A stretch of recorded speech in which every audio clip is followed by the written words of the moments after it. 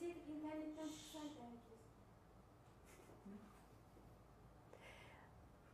Alize'den günaydınlar. Ee, Bugün canlı yayınımızı e, tekrarlıyoruz. Çünkü internette bir problem yaşadık. E, Donmalar oldu. Daha sağlıklı bir yayın çekebilmek için e, tekrar alıyoruz.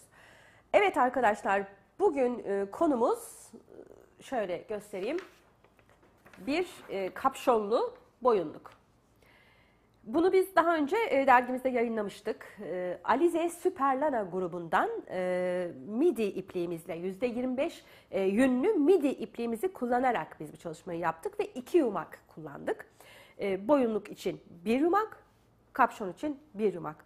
Evet %25 Superlana e, Alize midi ipliğimizle.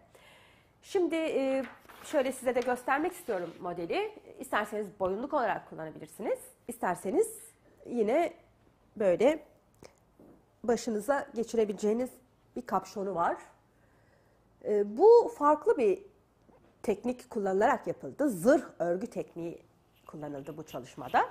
E, zırh örgünün e, diğer e, düz e, çalışmalardan yani e, nasıl söyleyeyim e, diğer örgü dokularından farkı zırha benzemesi dokusunun. E, bu da tabii e, sizlerin e, beğenisini sağladı. Böyle farklı bir görünüm ve hafiflik sağlıyor. E, en önemli özelliği de hafifliği. E, çünkü burada farklı şiş numaraları kullanıyoruz. İnce şiş ve e, kalın şiş kullanıyoruz. Başımdakini unuttum. ben olaya girdim. Peki e, şöyle göstereyim. Arkadaşlar dener misin diyorlar. Evet. Zannediyorum görüldü. Böyle bir kapşonlu boyunluk. Şimdi bunu çıkaralım. Sonra çalışmamızın özelliklerinden bahsederek başlayalım. Şöyle geçireyim mankenimize. E, Bu e, kullanışlı, beğeneceğinizi umduğumuz bir çalışma. Çocuklarınıza da, kendinize de e, yapabilirsiniz. Şöyle oturayım. Evet. Şimdi tekrar etmek istiyorum. Ee, Alize Superlana grubundan %25 yünlü midi ipliğimizi kullanarak bir kapşonlu boyunluk çalışması yapıyoruz bugün. İki yumak kullandık biz bu çalışma için. Ee, farklı şiş numaralarıyla örülen zırh örgü. Ee, zırh örgünün özelliği, şöyle göstermek istiyorum yakından. Zırh örgünün normal örgü dokularından e, öz- farkı zırha benzemesi. Ee, özellikle de biz böyle gri renk kullandık. Sanki hani e, zırh tam zırh görünümüne e, daha etkili versin diye. Evet böyle bir e, çalışma yapıyoruz şimdi. Ee, 10 numaralı ve 3 numaralı şiş kullanıyoruz arkadaşlar. Fakat bu 10 ve 3 eli gevşek olanlar için. Ee, mesela bu resimde 12 ve 4 numara kullanıldı. Şu resimde model 12 ve 4 numara ile örüldü. Ama e, burada elini ören arkadaş e, eli e, sıkıydı. 12 ve 4 ile bu görünümü sağladık. Fakat bu örgüde 10 ve 3 numara kullanıldı. Eli daha gevşek bir e, bayan ördü. Şimdi e, çalışmayı göstermek istiyorum şöyle. Açalım ipliğimizi. Az bir ilmek sayısı ile ben örneği göstereceğim. E, bu örneği daha önce çok çalıştık aslında sizinle. Televizyon programında, canlı yayında gösterdik. E, evet, Şimdi çalışmanın e, özelliği kalın şişle ilmeklerimizi atmak. İnce şişle atmıyoruz. Örgü boyunca bu iki şişi kullanıyoruz. İnce ve kalın. Yani eşleri olmayacak şişlerin.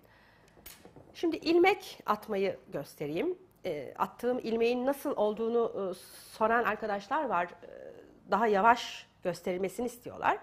Şöyle ipliği parmağıma doluyorum. Kalın şişimizi ilmeğe geçirip ipliği arkadan öne vererek yukarı çekiyorum. Yine şişimizi geçirerek ipliği arkadan öne verip şu şekilde ilmek atıyoruz.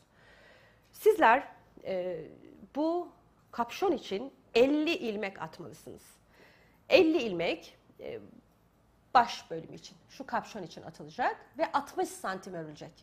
Sonra ikinci parçayı öreceğiz ve monte edeceğiz. Az bir ilmek ile hemen e, çalışmayı gösterelim. Şimdi bu işin püf noktası dedik. İnce ve kalın şiş. Şöyle tam göstermek istiyorum. Bu işin püf noktası ince şiş ve kalın şiş. Ve e, burada bir ilmek alma farklılığı o kadar. E, bir ters bir düz lastik örgü mantığı örüyoruz. Hemen başlıyorum. Evet. Tamam hazır mıyız? Ters örüyorum. Bir tane ters ilmek. İpliğimizi arkaya atıyoruz. Düz örerken ilmeğin arasından arkaya geçirerek düz örgü örüyoruz. Tekrar ipliği öne alıyoruz. Ters örüyoruz. İpliği arkaya atarak düz ilmeği arkadan örüyoruz. Şöyle içten arkaya geçirerek. Ee, tek fark bu sadece. Örgümüz bir ters bir düz lastik. Fakat işin püf noktası ince şiş, kalın şiş ve ilmeği ters ve düz örerken içten arkaya geçirerek almak. Sadece bu kadar. Önde ve arkada aynı işlemi yapıyoruz. Aynı işlem tekrar ediyor. Bütün örgü boyunca bu şekilde. Şimdi şişleri değiştirmiyoruz. Yani eşlerini almıyoruz. Yine aynı şişlerle devam ediyoruz. Ee, Bedriye Yılmaz, bu iple e, yelek yapılabilir mi? Tabii ki yelek yapılabilir. Her şey yapılabilir, hırka yapılabilir. Yine ikinci sırada ters gördüğümüz ilmeği ters örüyoruz. Kalın şişle. İpimizi arkaya atıyoruz. Düz gördüğümüz ilmeği düz örüyoruz fakat püf noktası yine aynı. Düz ilmeklerin arasından arkaya geçirerek böyle düz örüyoruz. Bu şekilde de ikinci sıraya devam ediyoruz. Bütün sıralar aynı. Bir ters bir düz lastik. Püf noktası tekrar tekrar söylüyorum. İnce ve kalın şiş ve düz ilmeği içten arkaya geçirerek almak. Sadece bu kadar. Ee, bu örgü bize e, zırh dokusunu sağlıyor. Çok da kolay hem hafif bir doku hem de ipliğimiz %25 e, yünlü bu gözenekli ve e, hafif olmasına rağmen başımızı oldukça ısıtacak çünkü yünlü bir iplik. Evet, şimdi örneği gösterdik. Bu şekilde devam ediyoruz. Şu parçayı örüyoruz arkadaşlar. Yani kapşonun kapşonun şöyle üst bölümünü. Bu bizim şöyle göstereyim. Baş kapşonu. Yani çalışmamızın bu kapşon bölümü. 50 ilmekle başladık. 60 santim ördük. Şimdi bu birinci parçamız. 60 santim sonra örgümüzü kapattık. Tekrar tekrar söylüyorum kalın ilmekle şişimizi ilmekleri atacağız. Bu bitti birinci parçamız. Geliyoruz ikinci parçamıza. Şu ikinci parçamız bizim e, boyun için ördüğümüz bölüm. Şöyle göstermek istiyorum. Bu boyun için ördüğümüz bölüm. 120 ilmek başlıyoruz. Aynı biraz önce başladığım gibi 120 ilmek başlayarak e, bu parçayı 17 santim örüyoruz. 17 santim sonra bir ters bir düz lastik örüyoruz. Şimdi hemen ona geçelim. Şöyle 17 santim ördük. 120 ilmek başladık. Parçamızın alt bölümü. Parçamızın alt bölümü. 120 santim pardon 120 ilmek başladık.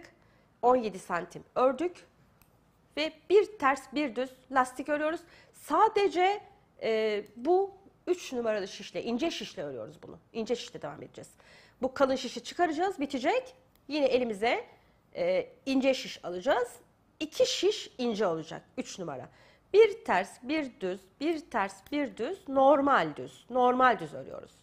Yani burada arkadan almıyoruz, ip, ilmeği aradan geçirmiyoruz. Normal düz örüyoruz. Çünkü lastik bölümüne geçiyoruz. Şuraya. Şöyle göstermek istiyorum. Bir ters bir düz lastik bölümüne geçiyoruz.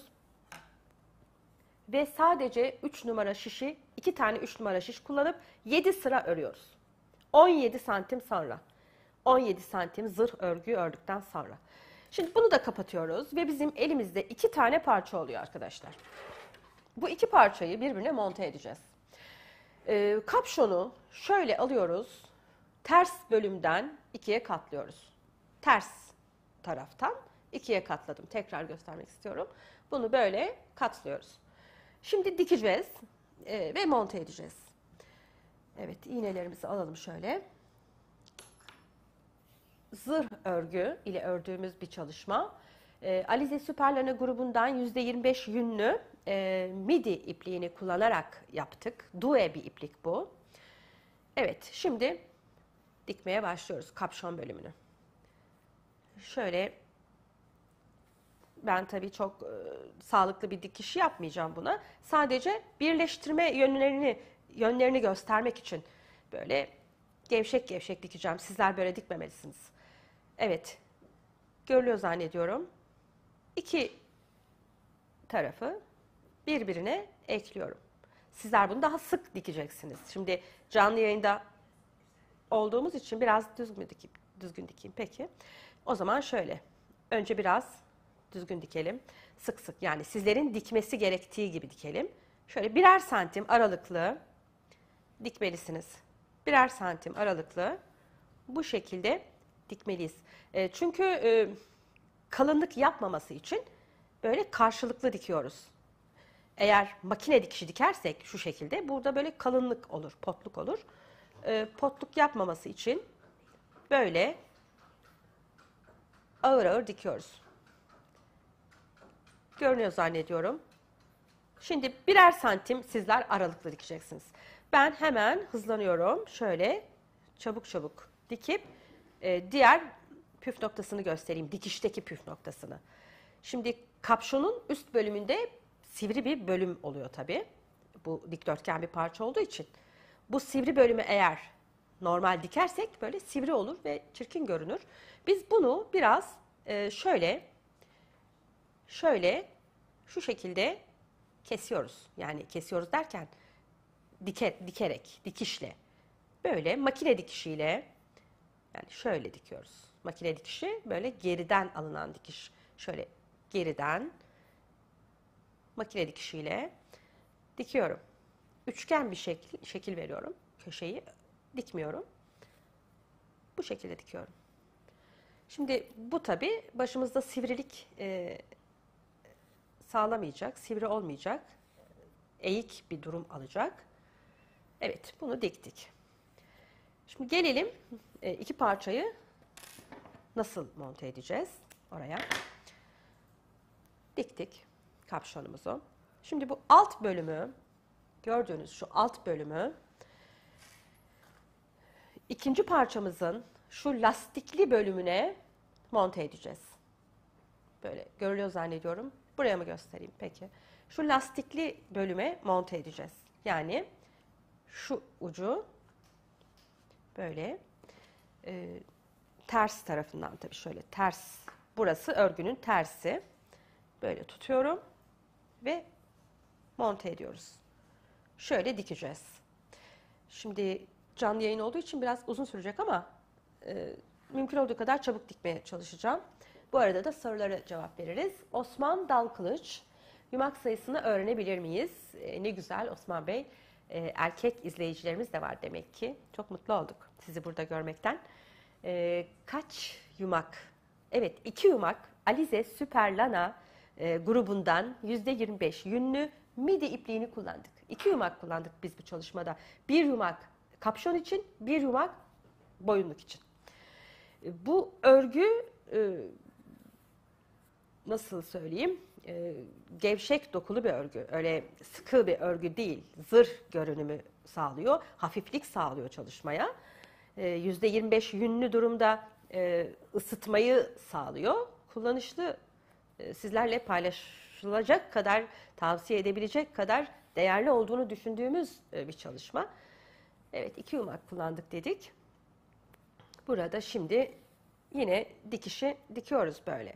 Ben büyük büyük dikiyorum ama sizler birer santim birer santim aralık vererek dikmelisiniz. Yani siz daha böyle kısa kısa dikeceksiniz. Şimdi öyle bir vaktim olmadığı için ama sizler böyle kısa kısa dikeceksiniz. Ben hemen böyle hızlanıyorum. Önemli olan burada birleştirmeyi görmeniz. Nasıl birleştiriyoruz kapşonla e, boyunluk bölümünü. E, şimdi e, bir soru gördüm e, yelek olur mu? En başta bir soruydu galiba. Yelek olur mu? Tabii ki bu örnekle yelek de olur. E, hırka da olur. Alize e, YouTube kanalımızda e, pek çok videomuz var bu çalışmalarla ilgili. Alize Angora Gold e, ve Gold Batik ipliklerimizi kullanarak hırka da yaptık. Sadece e, iki yumak Alize e, Alize Angora Gold Batik ipliğini kullanarak hırka yaptık. İki yumakla kollu bir hırka çıkmıştı. Çünkü bu tekniğin özelliği e, böyle fazla ip e, kullanmayı gerektirmiyor. Dok- gözenekli bir doku olduğu için. E, Evet. Şimdi hızla dikmeye çalışıyorum. Sizler çok daha itinayla e, dikeceksiniz. Sadece birleştirmeyi görün istiyorum. Evet. Bere ve boyunluğu birlikte kullanmak isteyenler için e, tavsiye edebileceğimiz bir çalışma bu. E, özellikle de şunu öneriyorum. e, çocuklarınızda da çok kullanışlı olabilecek bir çalışma. Öğretmenlik dönemimden biliyorum. E, bereler ve boyunluklar hep e, farklı yerlerde e, bulunuyordu. Çocuklar çok kaybediyorlar böyle iki parçalı şeyleri. E, onlara da rahatlıkla uygulayabileceğiniz bir e, model. E, şimdi çalışmanın böyle birleştirdim iki parçasını. Ön bölümü kaldı. Şimdi şu ön bölümü birleştiriyoruz. Yine tersini çeviriyorum. Tersten birleştireceğiz. Hemen şu yarıya kadar olan, lastiğin bitimine kadar olan yeri tekrar dikeceğiz. Ee, buradan yeniden iğneyi takalım. Şimdi çocuklarınıza e, yapmak için sorabilirsiniz e, kaç ilmek başlayacağız. Bunu her zaman söylüyorum. E, çocuklarınıza ölçerek yapmalısınız. Şimdi burada biz 60 santim, santim ördük e, kapşon bölümünü. E, Sizler çocuğunuzun e, başını mezura ile böyle ölçeceksiniz. Ne kadarsa omuzlara değen yeri 30 santim olur, 40 santim olur. O kadar örmelisiniz. Enini ölçmelisiniz. Biz burada 50 ilmek başladık.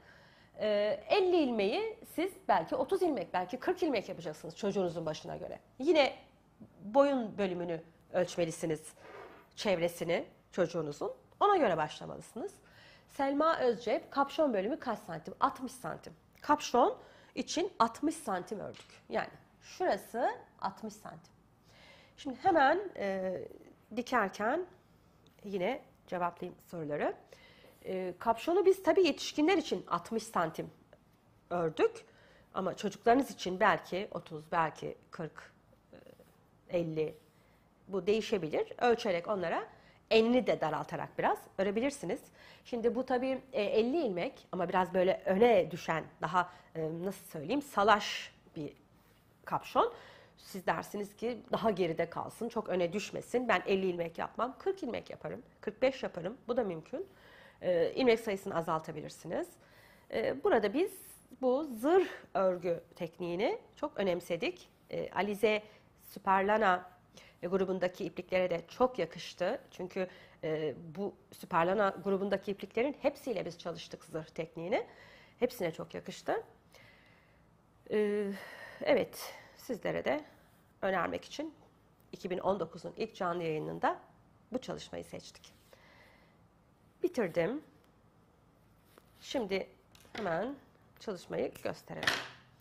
Evet, iki parçayı ekledik. Şöyle ters çevireyim. Kapşonlu boyunluğumuz, boyun bölümü, kapşon bölümü. Kapşon bölümünü önce arkadan diktik. Sonra boyun bölümüne monte ettik. Ortada bir ters bir düz lastik var. Boyun için 120 ilmek başladık. Zırh örgüyle 120 ilmeği 17 santim ördük. Sonra e, sadece ince şiş bırakarak iki tane ince şişi kullanarak bir ters bir düz lastik bölümünü ördük. Sonra e, bu parça zaten kapşon 50 ilmekle ayrıyetten örüldü. 50 ilmek başladık ve 60 santim ördük. E, sonradan monte ettik bölüme. Evet en son yine takalım ve çalışmayı gösterelim. Belki başta görememiş olanlar olabilir. Evet. Şimdi şöyle mikrofon duyulacak mı bilmiyorum ama böyle bir çalışma arkadaşlar. İki parçalı bir çalışma. Şöyle kapşonu bulabilirsem. Böyle kullanışlı olduğunu düşündük. Evet, mikrofonu kapattığım için bağırmam isteniyor. Evet, kullanışlı bir çalışma. Ee, sesimi duyuyorsunuz umarım. Oldu mu? Yamuk mu? Şimdi göremiyorum kendimi tabii. Ben de aynasız takamam çok. Neyse artık anlaşıldı zannediyorum. evet. e, Çalışmamız bitti. Nil Özcansel, pompon koysak arkaya sarkar mı? Ee, şimdi e, yumuşak e, bir doku olduğu için gevşek bir doku zırh örgü. Ee, ağırlık yapabilir evet tepeye. Pompona gerek yok zannediyorum. Takmazsak daha iyi olur. Şimdi yıkandığında sarkar mı diye sorabilirsiniz. Ee, hayır, yıkandığında da tabii ki mandalla hiçbir örgümüzü asmamalıyız. Mandal e, kullanarak örgüyü mandal bozar. Bunları böyle e, zeminlerde kurutmalıyız ya da ikiye katlayarak bu şekilde kurut- kurutmalıyız. Evet biz artık bütün dikkat etmeniz gereken şeyleri sizlerle paylaştık. Erkekler de kullanabilir mi? Tabii ki kullanabilir. Ee, neden kullanamasın? Erkekler de kullanabilir. Aynı iplikle hatta aynı bunlar e, unisex iplikler, renkler aynı iplikle erkekler de kullanılabilir, çocuklar da kullanabilir. Böyle tam aile e, olarak hepinize örebilirsiniz. Evet, umarız e, anlaşılmıştır, beğenilmiştir. E, o zaman sizlere keyifli örgüler diliyoruz. Tekrar görüşmek üzere, hoşçakalın.